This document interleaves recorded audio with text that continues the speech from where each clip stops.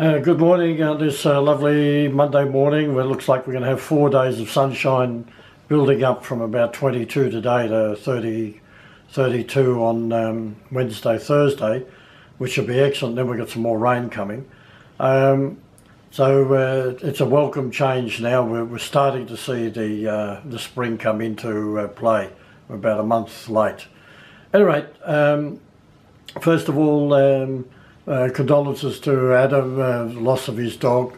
Um, he uh, passed away on his birthday. However, uh, I'm a great believer that uh, you don't mourn. What you do is you celebrate life, and um, and to me that was a double celebration for that day for for um, Adam.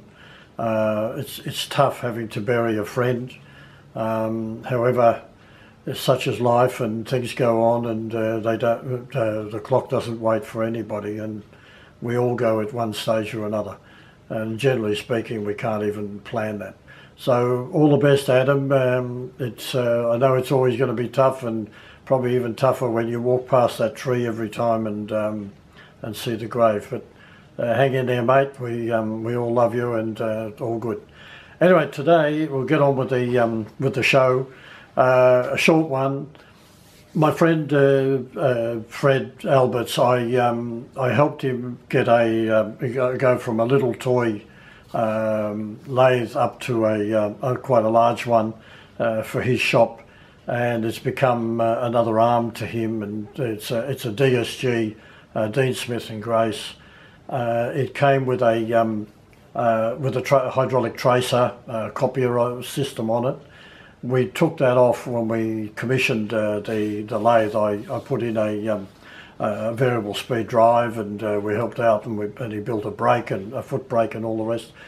Anyway, recently um, he's been struggling with the cross slide um, binding up and uh, he asked me to come and have a look and to see if I can ascertain what the problem is.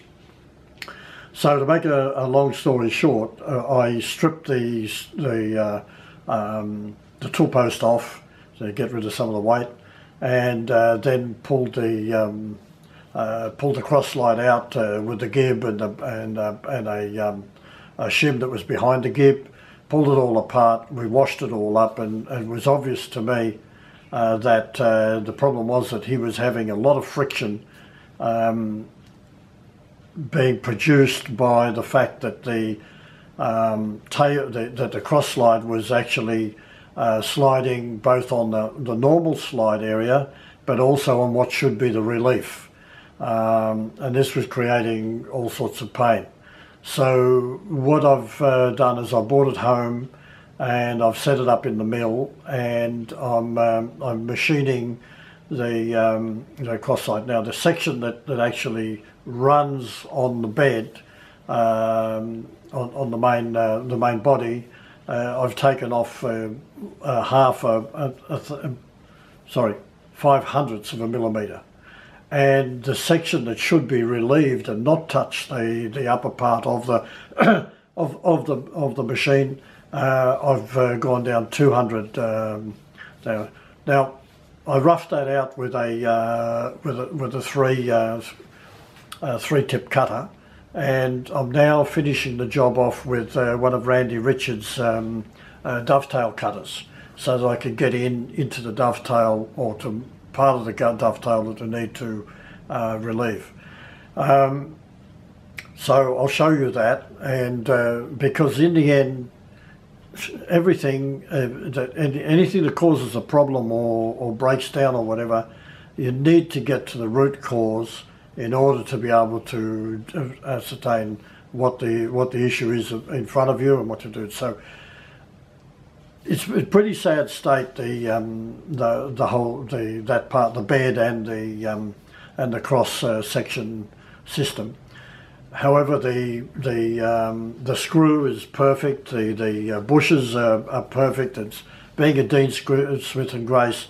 It's not just one nut, but there's two nuts, so you can adjust it to get rid of the, um, so the second nut can actually adjust uh, for you to take out any backlash on the, on the cross slide, which is excellent um, arrangement.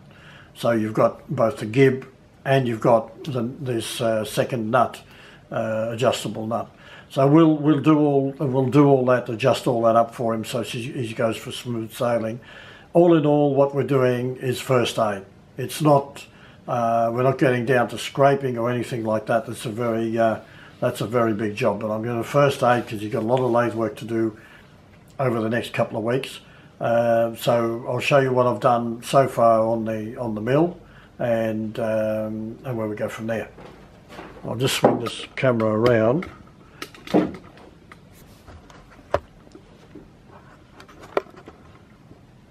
Bring it forward.